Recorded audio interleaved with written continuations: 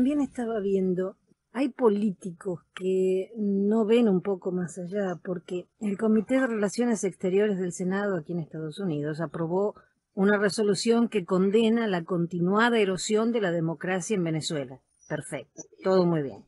La declaración fue encabezada por Marco Rubio, Bob Menéndez. Ah, también, y aquí viene mi problema, denuncian la falta de elecciones libres. ¿Cómo pueden pensar que en Venezuela, cuna de Smartmatic, puede haber elecciones libres? Gracias a, a los venezolanos. Gracias a los venezolanos. Los venezolanos que en el 2015 le presentaron este parapeto de Asamblea Nacional y después le presentaron un bojote de papelitos para que firmaran el, en el 2017, validando esa estructura de oposición. Después le fueron y le presentaron al guiado y salieron a la calle a aplaudirlo.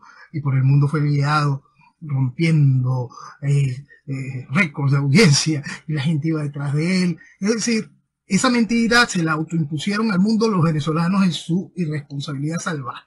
Entonces, el punto principal en esto es que para que el mundo entienda la verdad del problema y que no existan refugios, porque, mira, eh, cualquier congresista de estos tiene acceso a, por ejemplo, la última declaración de, del exdirector del Comando Sur, eh, que más clara no puede ser con respecto a la realidad de Venezuela, con respecto a terrorismo islámico.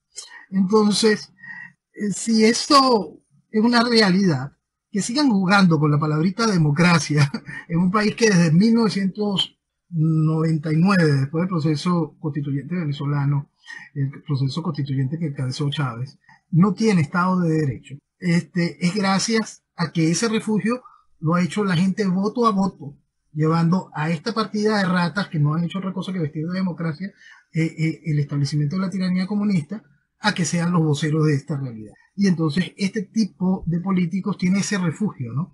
¿Para qué voy a leer un informe de inteligencia si yo tengo aquí el respaldo? Aquí tengo un embajador, aquí tengo líderes internacionales que me hablan sobre la importancia de la democracia y que problemas son simplemente electorales, que no tiene nada que ver con que Venezuela no tenga soberanía, que los carteles del narcotráfico estén gobernando, que, lo que, que, el país tenga penetrado todos los sistemas, haya entregado hasta su sistema de inteligencia, que el país no tenga ningún tipo de control sobre sí mismo y que en realidad lo que existe sobre Venezuela durante años es una fachada y una gran mentira sobre el proceso electoral y eso, la cuna es Marmati.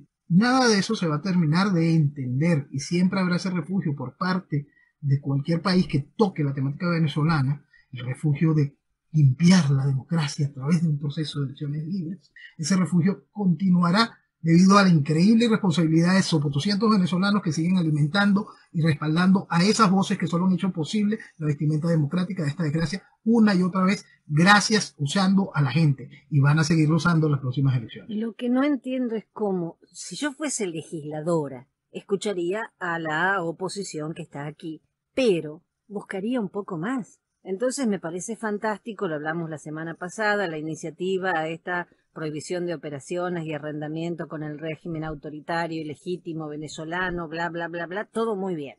Que se impongan sanciones a Maduro, todo muy bien.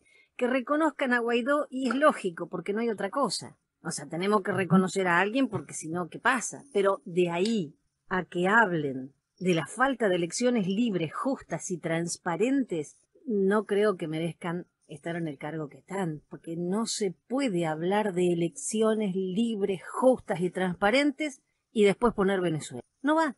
No, no, va, no va, no va y van a seguir insistiendo en eso mientras los venezolanos no terminen de desconocer y rechazar a todo el que lleve ese portaestandarte. Ese es, el, ese es el gran problema que está viviendo Venezuela. Durante años ha sido un comportamiento tan irresponsable el de refugiarse en el proceso electoral, en la mentira electoral, que le ha dado voz y cuerpo a esa mentira y le ha dado legitimidad a los que llevan esa bandera. Es un trabajo que tiene el venezolano muy, muy cuesta arriba y para eso, sobre todo, como vivo indicando, la diáspora venezolana, en los lugares donde ya está, en los lugares donde se ha podido sentar, donde tiene condiciones de legalidad sobre todo, escríbale a sus representantes, escríbale a los senadores, representantes de su estado, escríbale a los diputados de su distrito, busque la manera de incentivar en el periodista que tenga peso, que tenga renombre, que no lo vea interconectado dentro del proceso socialista, un mensaje distinto sobre la realidad venezolana.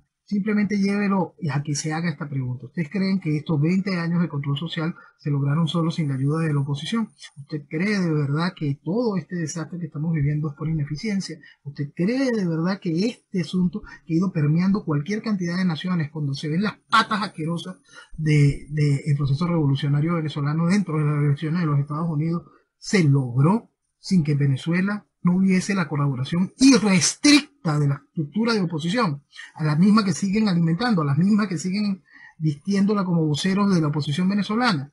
Eso es lo que tiene que estar fajada la diáspora venezolana, enfrentar a los países donde viven a través de la estructura de prensa y a través directamente de los políticos a los cuales tengan acceso, este, enfrentarlos a la realidad de lo que vive Venezuela.